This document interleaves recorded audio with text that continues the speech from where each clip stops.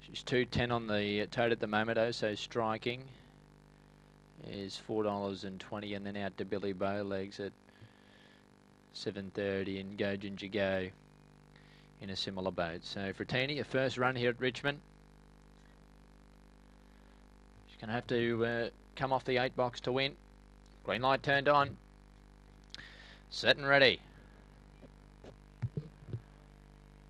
Away and Frattini jumped only fairly out wide, showing some speed near the inside. Go Ginger Go and punching forward as well was Shady Rhino. Frattini's out three wide, but Go Ginger Go found the lead a length in front of Frattini, who got to second. Then Billy Bowlegs running into the fray, being followed by Willie the Wombat. Oh, so striking is a long way back. So is Walt Kowalski. Rum Punch and Shady Rhino drop back to last. Go Ginger Go led coming to the bend. Billy Bowlegs is railing up on the inside of Frattini. Go Ginger Go. Frattini's lifting. Frattini's over the top of them. Frattini's one from Billy Bowlegs and third. Tight between Go Ginger Go and Oh So Striking, who got home late.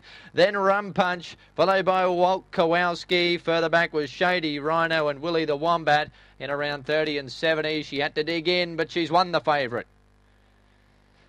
Gee, the chips were down. But she dug in big time. That's a great win. She's something, uh, something special.